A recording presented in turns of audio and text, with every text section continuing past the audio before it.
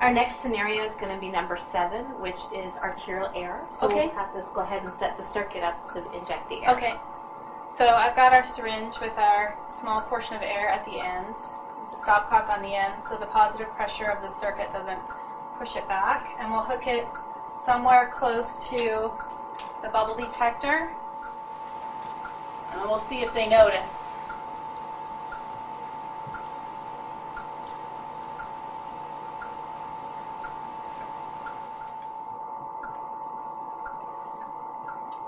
I'll grab that when I go back to the laptop. So after you read the scenario, Melissa, I'll hit the air to go in, drop the vital signs um, when the pump shuts off. And then what actions do you think we want our participant to do?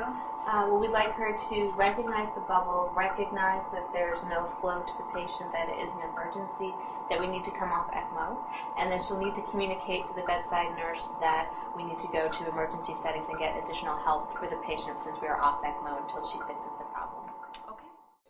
You have a one month old with aspiration pneumonia and ARDS.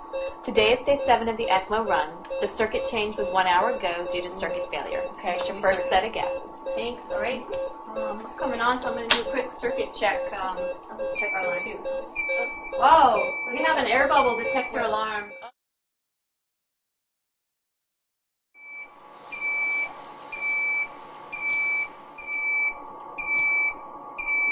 We have an arterial air bubble. Oh no! Uh,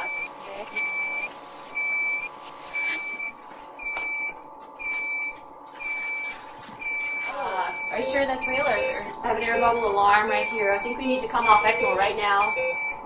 Take the patient off ECMO. I need vents, emergency Okay, settings. all right. I'll put the emergency vents on. I'm gonna open the bridge so I can get this air out. We need a physician. Okay. Us a hand. Call the physician. Okay. All right. We need a doctor in here. I'm gonna recirculate and get this air out. We're gonna need the code card and some extra people. Okay, we're on emergency vent settings. Okay, our heart rate's 80, our stats are 75. We're on emergency settings.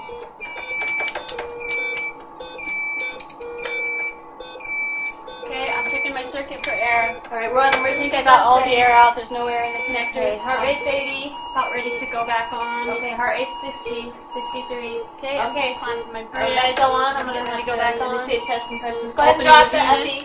Okay. Opening the arterial. Okay, we're back on. Almost. There we go. Okay, we're back on ECMO. ECMO. Heart rate's holding at 59. Flow's coming up. Okay, flows are Flow. up. Okay, heart rate's increasing. Great. Maybe we better send a patient gas. And, And we're back on our baseline flow. uh, four. Four. Back on baseline flow, full flow. All right, once our stats fully recover, I'll come back off of our emergency setting. All right, working my way back down the baseline. Pressures set. Flow's good. All Blood gases look good. And the Okay. CDI. and we're back on red settings. Okay.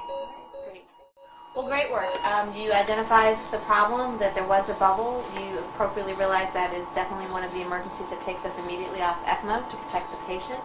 Um, you did a good job communicating back to your nurse that, again, you are off ECMO. She needs to get help and a team dedicated to the patient to go to emergency vent settings and potentially run a code on the infant. Um, and then you troubleshot the circuit and got the air out.